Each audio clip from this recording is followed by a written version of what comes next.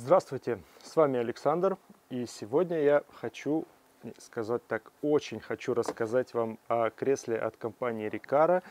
Это их наверное, самая, самая интересная разработка за э, многие годы. Это, наверное, самая премиальная вообще модель на рынке э, в категории 0.1, э, которая сделана уже по новому стандарту iSize, где вы до 15 месяцев обязательно ездите против хода движений, только потом пересаживаетесь, пересаживаете ребенка, разворачиваете по ходу движения. Это называется кресло Zero One Elite. Elite. Вот. И, к сожалению, оно еще и самое дорогое в сегменте, но оно не просто так дорогое, оно действительно одно из самых безопасных, самых интересных и продуманных детских автокресел. Поэтому сегодня мы его изучим с вами, что он из себя представляет. Сейчас вы сразу э, видите, как здесь установлена люлька. Здесь два в одном. Она 0 включает в себя, как я уже сказал.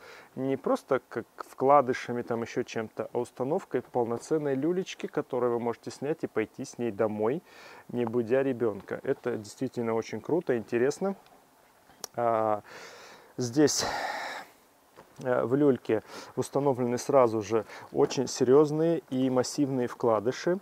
И э, новорожденный ребенок, он очень маленький. Действительно, они малюсенькие, поэтому э, сюда он сядет как влитой. Очень компактно здесь все сделано, при том, что когда ребенок подрастет, очень все просто. Отсюда эти вкладыши все вынимаются. И смотрите, ребенок действительно уже ощутимо побольше, будет сюда еще помещаться. Сейчас уберу его, чтобы не мешал. Вот. И, соответственно, э, уже подросшего, имеется в виду в размерах чуть увеличенного ребенка, вы спокойно здесь будете катать. Вот смотрите, по поводу вот так вот э, будет это все выглядеть в автомобиле. Э, многим может не понравиться, что ребенок здесь ну, в такой полусидячем положении, но в автомобиле так надо ездить. Э, при ДТП ребенок должен быть сгруппирован и не в горизонтальном положении, чтобы выдержать все нагрузки при э, ДТП. А если, не дай бог, еще и ДТП серьезное, то здесь вот хорошая должна быть фиксация ребенка. Поэтому вот так вот действительно безопаснее. Если вы покупаете кресло именно со стороны, как выбираете как самый безопасный вариант, то вот, вот так вот. И из-за этого же нельзя ребенка долго возить, не больше трех часов, имейте в виду. А старайтесь даже поменьше, не мучите ребенка какими-то короткими поездками. Вот, собственно, смотрите, как это все работает. Ну, вот здесь вот есть кнопочки, рычажки, точнее говоря, с помощью которых мы все это вращаем. Вот, снимается оно тоже очень просто. Так, с помощью кнопочек. Все, вот как это выглядит. Вот смотрите отсюда. Вот эта люлечка, которую вы сняли и пошли домой. Действительно очень удобно. Даже коз, э, козыречек от солнца тоже присутствует. Ну, действительно, уникальная разработочка. Я считаю, ну, вообще интересно очень. Так, это что касается совсем новорожденного ребеночка. А здесь все понятно. Убираем сторонку и смотрим э, на само кресло. Здесь для установки э, кресла сразу есть, имеется в виду люлечки встроенные. Э, есть специальные направляющие. Здесь даже своего рода такой изофикс встроен в кресло с изофиксом. Здесь специальные направляющие, которые, чтобы они вам не мешали, они легко отсюда демонтируются. Все очень просто, одним щелчком. И вот эти вот, э, чтобы не торчали сами крепежи, они загибаются внутрь, после чего очень легко здесь в два слоя складывается материал, чтобы ребенку ничего не давило. И подворачивается внутрь и закрывает все это вот дело вот таким образом. Поэтому теперь мы можем возить ребеночка. Еще пересаживаться, так как под новый стандарт iSize оно заточено рано, когда с люлечки ребенок вырос. Все равно поворачиваем его против хода движения и, соответственно, э, едем против хода движения. Вот так вот, как вы сейчас видите. И а, при движении против хода у нас также еще есть возможность регулировочки наклона спинки. Можно чуть побольше посадить можно чуть больше наклонить. Лежачих положений, повторюсь, здесь нет. И это правильно. Вот. А, получается, что вот так вот до 15 месяцев откатались, разворачиваемся. И вот таким образом едем по ходу движения.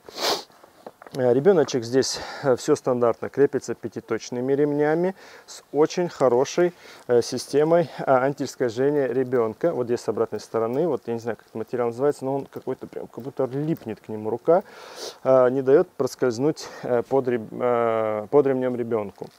Очень здорово. Мягкие накладки везде, естественно, это все есть. Подголовник у нас тоже регулировочку имеет. Здесь сверху кнопочка.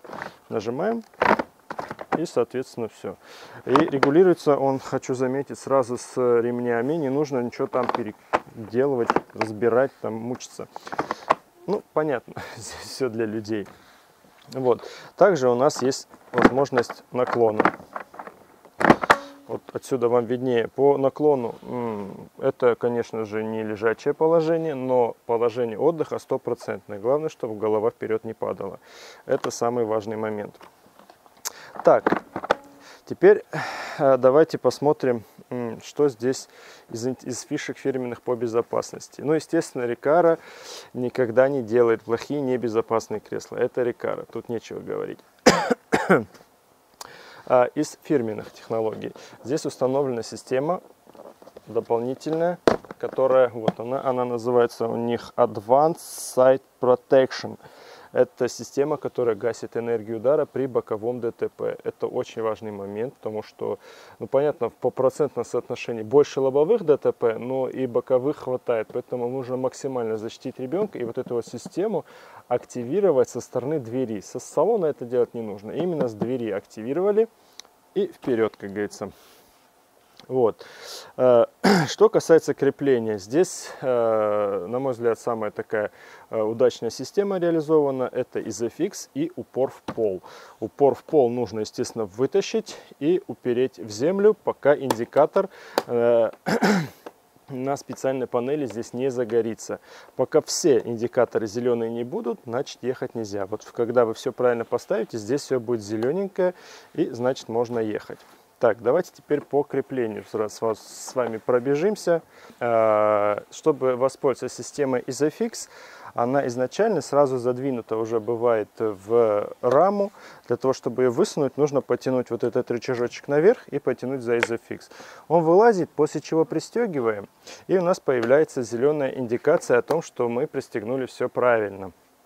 И, естественно, не забываем упор в пол упереть так, чтобы, э, опять же, появилась индикация, что нам можно ехать.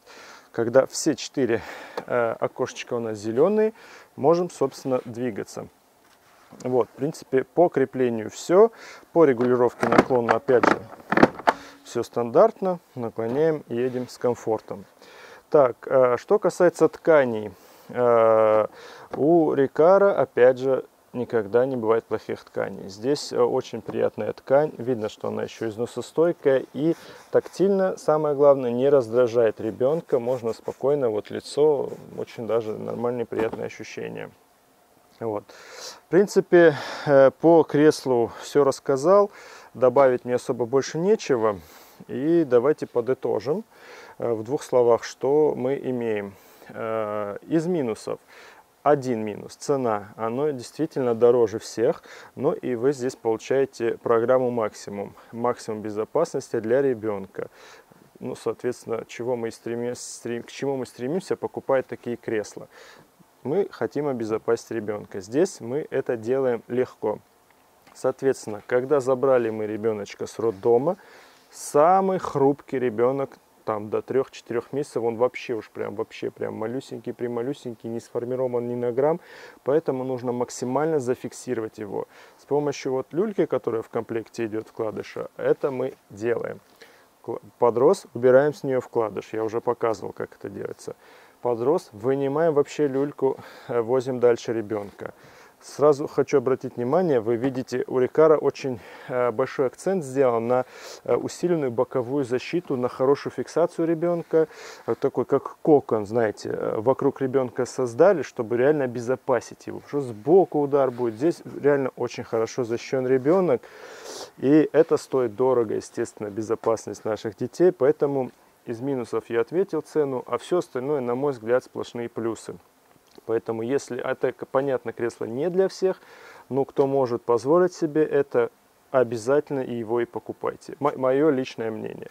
Поэтому, в принципе, все. Добавить действительно больше нечего. Если это видео вам было полезно и интересно, ставьте, пожалуйста, лайки. Обязательно подписывайтесь на канал. Это мне очень помогает делать для вас обзоры. И э, в заключение большое спасибо Миру Автокресла за то, что предоставили на обзор это уникальное кресло э, Recaro Zero One Elite. А вам хочу пожелать хорошего грамотного выбора кресла для ваших детей. И удачи, до свидания.